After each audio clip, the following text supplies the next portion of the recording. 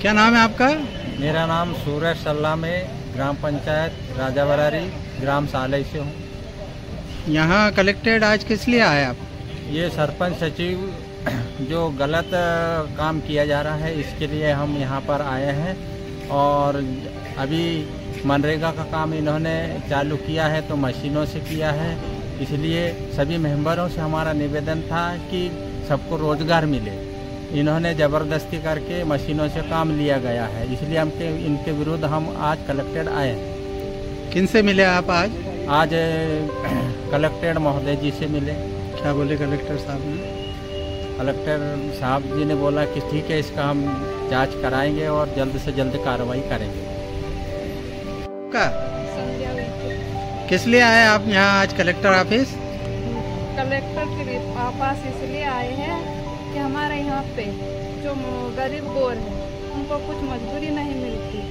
और यहाँ पे जेबीसी सरपंच सचिव ने जेबीसी लगवा के और ये बजरी डाल चुके हैं यहाँ पे। कहाँ डाले बजरी? ये डाले साफ़ नगर का एक रास्ता। तो सरपंच सचिव की शिकायत करने के लिए आप आए थे? हाँ सरपंच सचिव की शिकायत करने के लिए। किन से मिले आप आज? कलेक्टर महोदय क्या बोले कलेक्टर साहब? आपका काम हो जाएगा हम कार्रवाई करवाएँगे धन्यवाद। नाम है आपका? श्रीमान जी मेरा मुन्नालाल धुर्वे उप सरपंच ग्राम पंचायत राजावराली निवासी वन ग्राम ऊंचावर है किस लिए आए आप हरदा में कलेक्टर से मिलने? हम आए हैं सचिव और सरपंच जो हमारे यहाँ श्रीमती मनोरमा सरपंच और गब्बर गिन्नारे ये जो अवैध काम कर रहे हैं और जो 15-16 साल के बच्चे उनसे काम करवा रहे हैं स्कूल वाले से, इसके संबंध में ज्ञापन देने के लिए आए।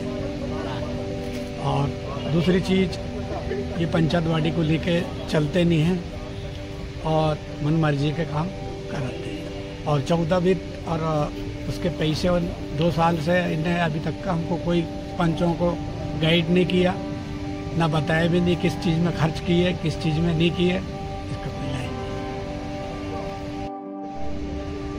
सामाजिक कार्यकर्ता जय कुमार उइके से हम चर्चा करने जा रहे हैं। आज कलेक्ट्रेट में ये राजा बरारी ग्राम पंचायत के पंचों के साथ आए हुए हैं और हरदा कलेक्टर आदित्य सिंह से इन्होंने चर्चा की है। किस वजह से आप इन लोगों के साथ आए? राजा बुरारी पंचायत में सचिव और सरपंच के द्वारा। लगातार भ्रष्टाचार का मामला सामने आया है और मजदूरों को रोज़गार नहीं देते हुए मनरेगा में जेसीबी से मशीन से काम कराया जा रहा है। ऐसा ग्रामीणों का कहना और साथ में नाबालिग बच्चों से भी काम रात में कराया जा रहा है सचिवों के द्वारा। तो यहाँ पर आज उन्हीं मांगों को लेकर के सारे पंचगण, जनपद सदस्य और जिला पंचायत सदस्य प्रतिनिधि के साथ में हम माननीय कलेक्टर महोदय से मिले और माननीय कलेक्टर महोदय ने आश्वासन दिया कि इस पूरे मामले की जाँच करके और दोषियों पर उचित कार्रवाई की जाए